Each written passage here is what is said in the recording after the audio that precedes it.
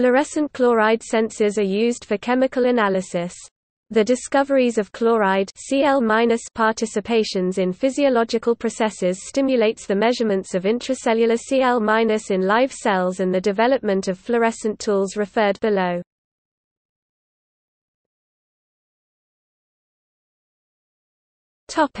Quinoline-based dyes.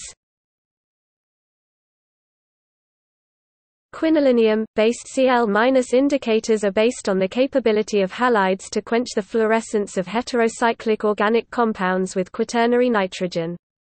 Fluorescence is quenched by a collision mechanism with a linear Stern-Volmer relationship F 0 F equals 1 plus K C L minus display style frac f underscore 0 f equals 1 plus k cl caret where f 0 display style f underscore 0 is the fluorescence in the absence of halide f display style f is the fluorescence in the presence of halide K display style K is the Stern-Volmer quenching constant which depends on the chloride concentration C L minus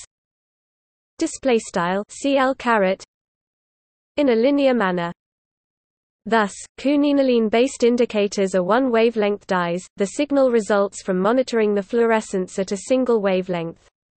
Ratiometric measurement of halide concentration is not possible with quinolinium dyes. The kinetics of collision quenching are diffusion limited only, and these indicators provide sub-millisecond time resolution. Quinolinium-based dyes are insensitive to physiological changes in pH, but they are prone to strong bleaching and demand ultraviolet excitation, which is harmful for living organisms.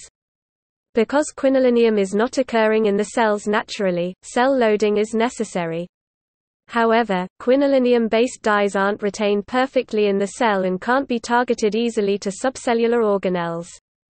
Also, they cannot be designed specific to a certain type of cell. The most used quinolinium-based Cl- indicators are 6-methoxy-1, 3-sulfonatopropyl quinolinium (SPQ), 6-methoxy-N-ethylquinolinium Cl- (MEQ), and N-6-methoxyquinolyl acetoethyl ester (MQAE).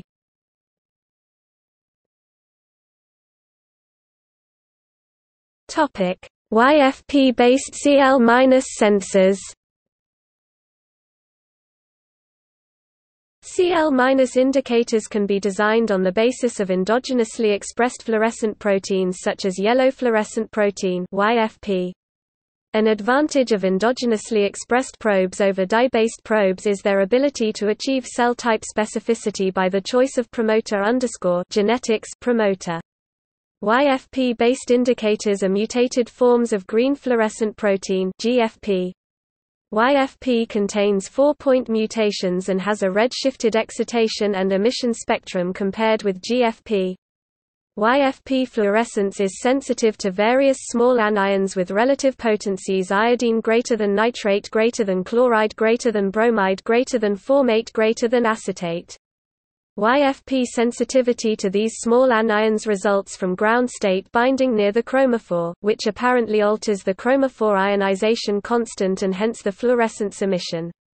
The fluorescence of YFP is sensitive to Cl- and pH. The effect is fully reversible.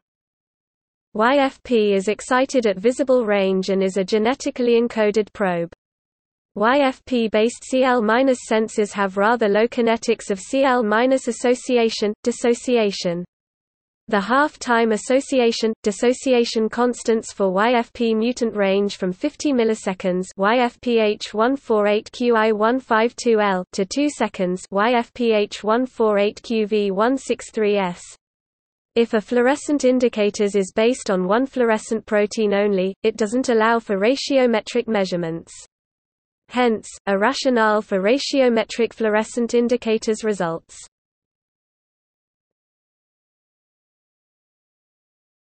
Topic: FRET-based, genetically encoded Cl- indicators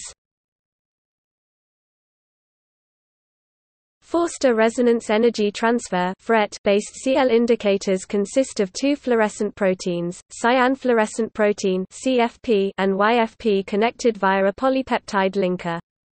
This allows ratiometric Cl- measurements based on the Cl- sensitivity of YFP and Cl- insensivity of CFP. Chlomeleon and Cl-sensor are FRET-based Cl indicators that allow ratiometric non-invasive monitoring of chloride activity in living cells. Notes